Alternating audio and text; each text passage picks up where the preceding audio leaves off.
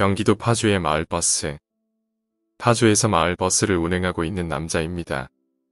시간이 늦어지면 불을 끈 뒤 정차하지 않고 달리는 버스를 본 적이 있으시죠? 그것은 바로 아시다시피 해차하는 차입니다.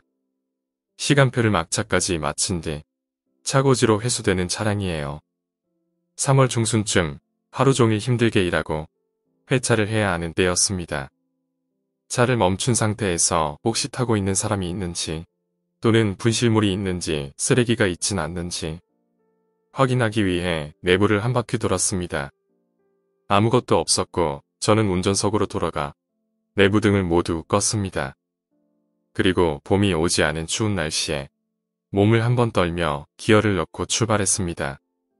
오래된 시동 소리와 함께 버스가 출발했고 출발하기 전에 내부 백미러를 보는 버릇이 있었습니다. 헬금 룸미러를 보았을 때 어두운 좌석들 중 뒤에서 세 번째 의자에 어떤 여자가 창밖을 보고 있었어요.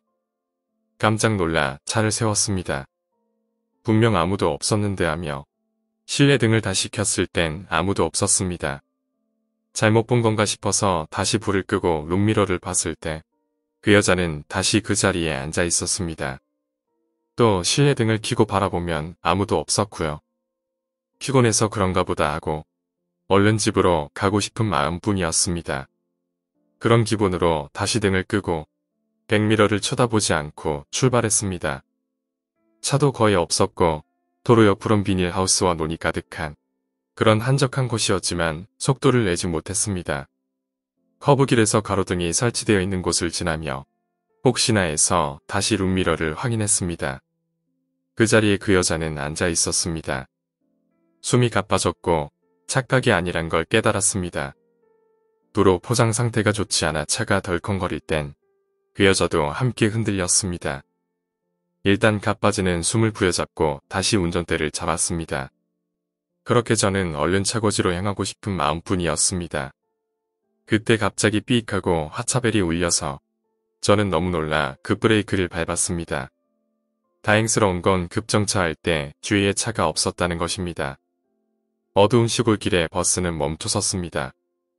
제정신이 아닌 상태로 차의 핸들을 바라보며 숨을 헐떡이고 있을 때 그 여자가 내 옆에 왔다는 게 느껴졌습니다. 그 여잔 저에게 속삭였습니다. 그러지 말아요. 미안해요.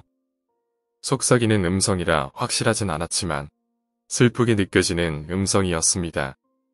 오늘 이야기는 여기까지입니다. 오늘 이야기가 재미있으셨다면 구독과 좋아요 부탁드립니다. 감사합니다.